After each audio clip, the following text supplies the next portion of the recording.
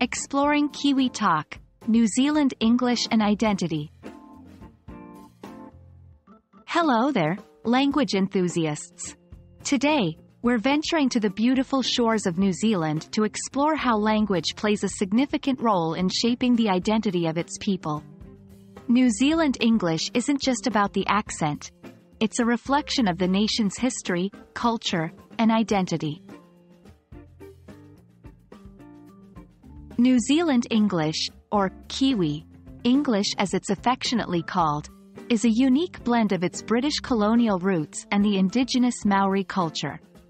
While the base of this dialect is rooted in British English, over time, it has adopted and adapted various words and phrases from Maori, the indigenous Polynesian people of New Zealand.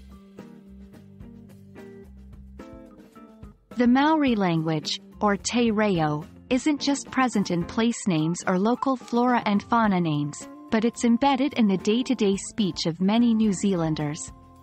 Phrases like kia ora, hello, and whānau, family, are used by Kiwis regardless of their ethnic background.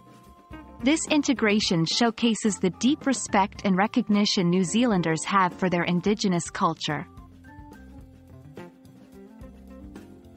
Language is a powerful identity marker.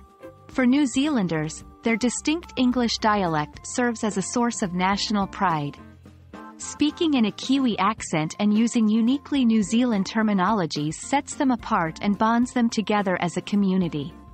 Even within New Zealand, there are subtle variations in accents and terminologies, each narrating a story of its regional history and influence. While the Kiwi accent is charming and distinct, the New Zealand English identity is about more than just pronunciation. It's about using language to bridge cultures, remember history, and celebrate uniqueness.